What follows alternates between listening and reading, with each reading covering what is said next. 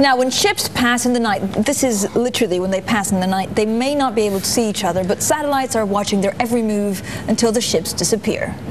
Where do they go? Let's find out. Our Middle East editor Elliot Gotkine is going to tell us. Elliot. Guy, well, they're not in my pocket if that's what you were thinking, but I'm going to try and squeeze the answer out of Ami Daniel, who is the CEO and co-founder of Windward, which looks at these kind of things. So we're talking about invisible ships. Ships to be insured have to have these uh, transmitters in mm -hmm. order to tell everyone where they are, essentially, mm -hmm. to avoid accidents and whatever else.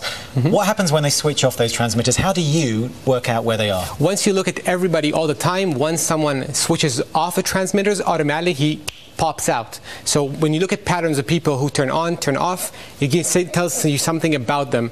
We also have other ways of using active satellites to look at all, all the ships in the sea, but that's much more focused. Okay, but you kind of look at where they usually would be, where mm -hmm. they're mm-hmm. coming from, and you work out using algorithms kind of where they're likely to be. Exactly. We harness the power of sophisticated algorithms to look at maritime big data and deduce actionable insight. We look at patterns of vessels, we look at patterns of areas, and when someone does something strange or suspicious, uh, it pops out. I think we have a good example of a case uh, like that which happened just last week.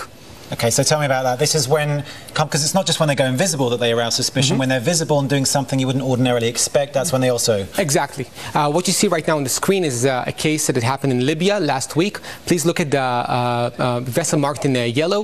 Uh, this vessel is a crude oil tanker trying to load oil from a closed port in the eastern part of Libya. According to media reports, uh, at some point in the journey, the Libyan Navy goes out, fires at this vessel, and you can see in a second that it's changing its course north north westwards. It's a great example of how closing of a port influences oil prices, which shot up uh, to $107 uh, a barrel just last week.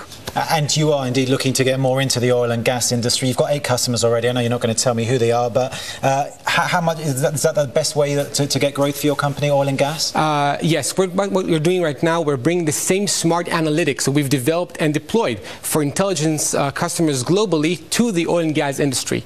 Uh, obviously, the oil and gas industry is very complex. They have multiple assets cross-border, cross-country, and it's obvious if you're an, if you're an oil uh, and gas executive, you would like clarity and transparency on the oil value chain. That's exactly what we bring.